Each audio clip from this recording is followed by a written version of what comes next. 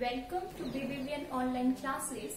Myself Mamta and in today's English class we will discuss about prepositions. What a preposition is, how they are important in a sentence, what the role of a preposition in a sentence.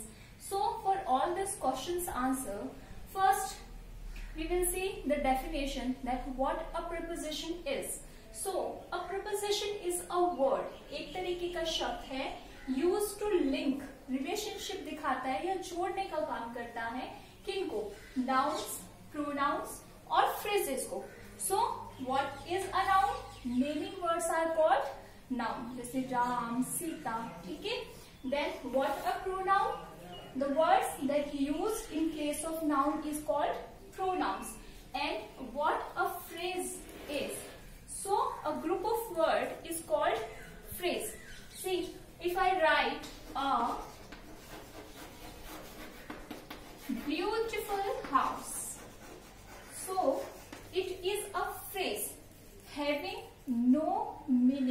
without a sentence and a verb. And if I write I built a beautiful house then it gave me an idea that I built a beautiful house कि मैंने जो है एक सुंदर घर बनाया so, prepositions क्या होते हैं वो वर्ड होते हैं जो कि नाउन प्रोनाउन और फ्रेजेस को जोड़ने का काम करते हैं to other words within a sentence other words subject verb और with an object okay so preposition वो वर्ड होते हैं जो कि नाउन प्रोनाउन और फ्रेजेस को एक सेंटेंस में दूसरे शब्दों के साथ में जोड़ने का काम करते हैं। Preposition are usually short words वो छोटे छोटे वर्ड होते हैं लाइक इन एट बिफोर ठीक है? Placed directly in front of nouns और हमेशा नाउन के पहले जो है, वो यूज़ किए जाते हैं। We will take an example that we walk up before sunrise ठीक है? So we walk up we is are subject this is are work and before is preposition and sunrise is my object so before is connecting We walk up and sunrise with this word. ठीक है?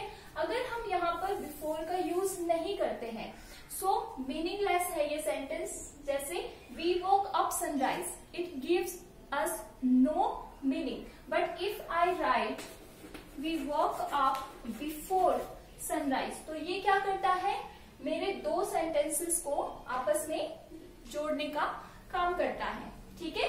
Next is her mother is in the hospital ठीक है? यहाँ पर in जो है, वो her mother और द हॉस्पिटल के बीच में लिंक करने का काम कर रहा है। If I remove the preposition from the sentence that it is going to be meaningless her mother is the hospital I am going to get no meaning with this ठीक है? And if I write in then मुझे clearly पता चलता है कि उसकी माँ कहाँ पर है? हॉस्पिटल में। So forming relationship with other words इस तरीके से प्रिपोजिशन जो है, वो अदर वर्ड्स के साथ में रिलेशनशिप जो है, वो शो करती है। Then if I write I am flying to London tomorrow ठीक है? So it gave me a meaning that where I am going to fly to London when I am going to fly tomorrow ठीक है?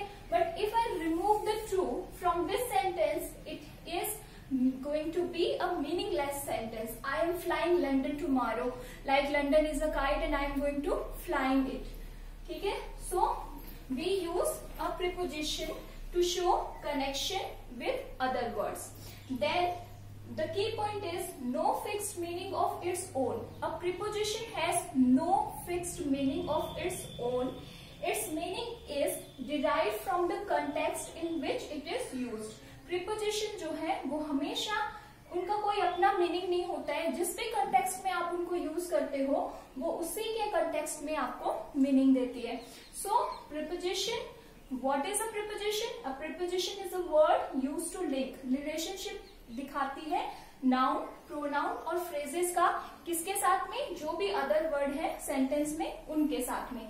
Then what is the importance of preposition it gave us meaning without a preposition it is not possible to form a sentence then what is the meaning of a preposition meaning कुछ भी नहीं होता है. उनका अपना कोई meaning नहीं है.